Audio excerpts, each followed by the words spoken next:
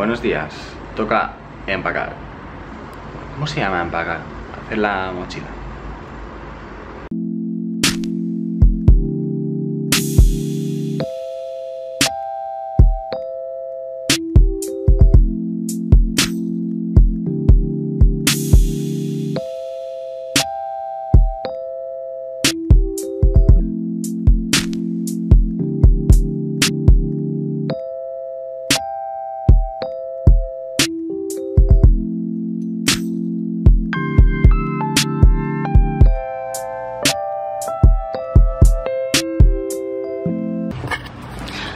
Ya está, he acabado. En, ¿Qué? ¿Dos minutos? Joder, cinco minutos. Mucho, ¿no?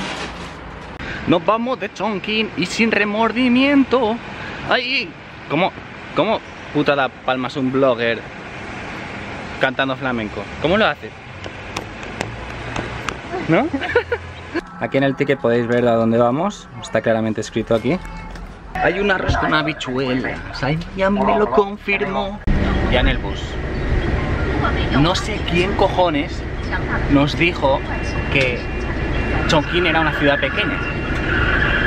Creo que Goyo y su compañero de piso, pero nos dijeron que era una ciudad pequeña. Y he estado mirando. Y la zona área metropolitana tiene 30 millones de personas. Es la zona más poblada de China. ¿Ciudad pequeña de qué? Pues entonces Chongqing es la ciudad más... este, Es que la ciudad tiene como 10 millones, pero la zona me- metropolitana, como la- el área alrededor, 30 millones. Cojones, ciudad pequeña, no.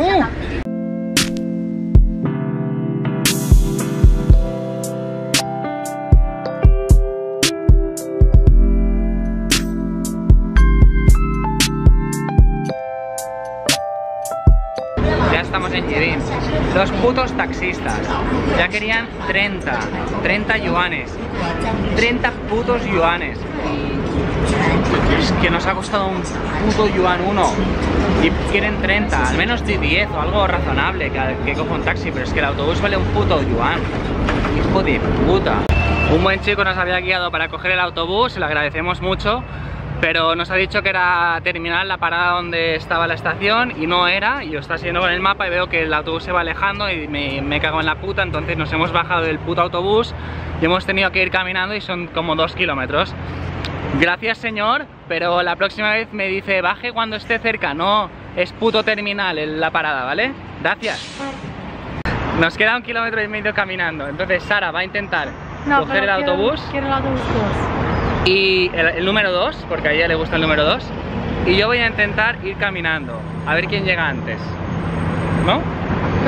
Sí, ¿Vale? Entonces yo me voy sin móvil y sin nada. Y ella pues va a esperar a ver el autobús número 2.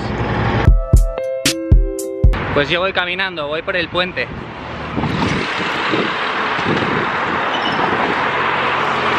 A ver quién llega antes. Yo creo que va a llegar ya antes, pero había que probar ah, el reto, ¿no? Al menos hace un poco divertido la mierda de haber perdido el bus.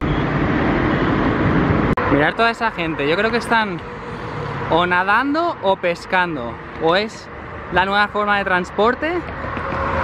No sé. Sara ya me ha pasado con el autobús, así que va a ganar ella. Pero no quería pagar otro autobús, así que digo, "Va, voy a hacer la gilipollez esta.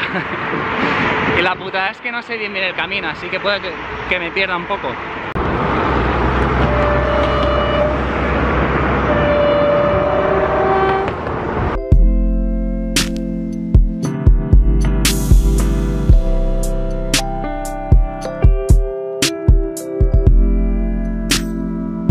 ¿Cómo te sientes tras ganar? Oh, what I was scared because it be tricky, or maybe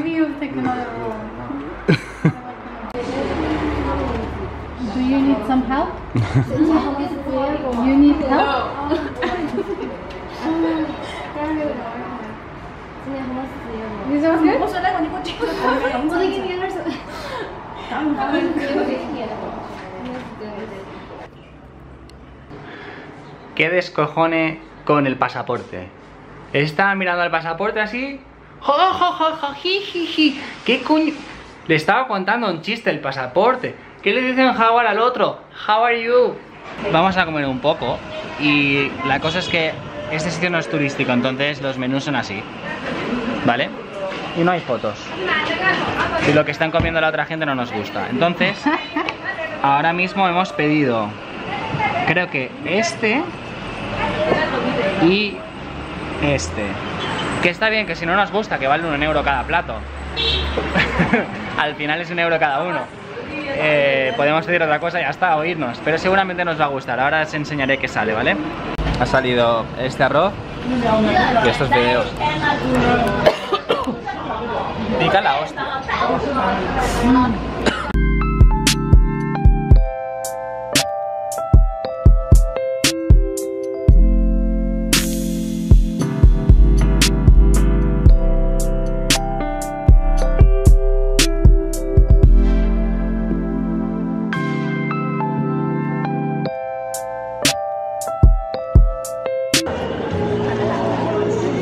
Que es la primera vez que me siento que estoy en una zona más antigua de igual unos 10 años.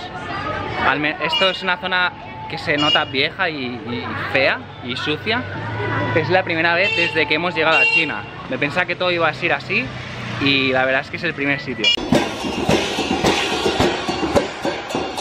Vale, bastante surrealista. Hemos entrado a una tienda de Canon para preguntar sobre una batería de la cámara con la que estoy grabando, la Canon E10 M10 y me ofrecían la original por casi 50 euros y digo, estás flipando, qué caro.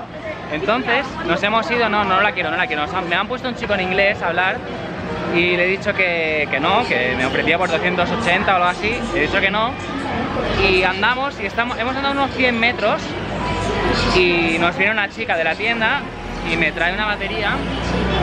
Sé que no es la original y tal, es la, es la china, pero cuesta 60 yuanes. Así que por 60 yuanes la verdad es que lo voy a probar. 60 yuanes son menos de 10 euros, son como 8 euros. Así que probaré y si funciona, funciona.